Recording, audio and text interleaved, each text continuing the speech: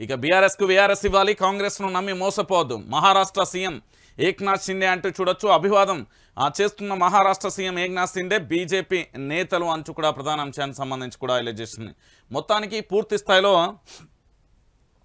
ఒకసారి చూద్దాం.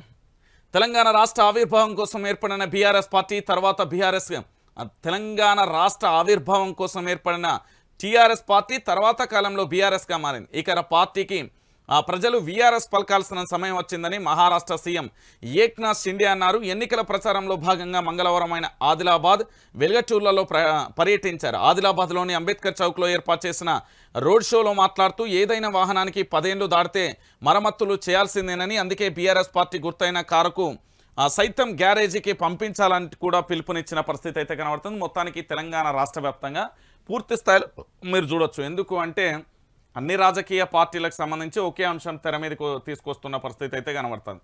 ఇక దాంతోపాటుగా మరొక అంశానికి సంబంధించి కూడా చూసే ప్రయత్నం అయితే చేద్దాం. రైట్ ఇక ప్రాజెక్టుల పేరుతో ప్రజానానం లూటి పదేళ్ళలో కేసీఆర్ కుటుంబానికే ఉద్యోగాలు యువతకు ఉపాధి కరువు బీజేపీ బీఆర్ఎస్ ఎంఐఎం ఒకటే. ఆరు గ్యారంటీలు అభివృద్ధికి సూచికలు మార్పు కావాలంటే కాంగ్రెస్ రావాలి. రోడ్ షోలో ప్రియాంక గాంధీ అంటూ కూడా ప్రధాన అంశానికి సంబంధించి కూడా హైలైట్ చేసింది. మొత్తానికి జహీరాబాద్ పట్టణంలో నిర్వహించిన రోడ్ షోలో మాట్లాడుతున్న ప్రియాంక గాంధీ అంటూ కూడా ప్రధాన అంశానికి సంబంధించి కూడా హైలైట్ చేసిన పరిస్థితి.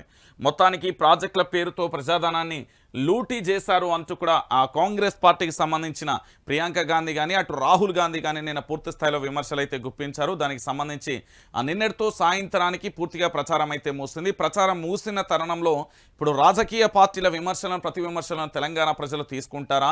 లేకపోతే లైట్ తీసుకుంటారా అనేది చూడాలి. ఇప్పుడు జరగబోయే సంగ్రామమే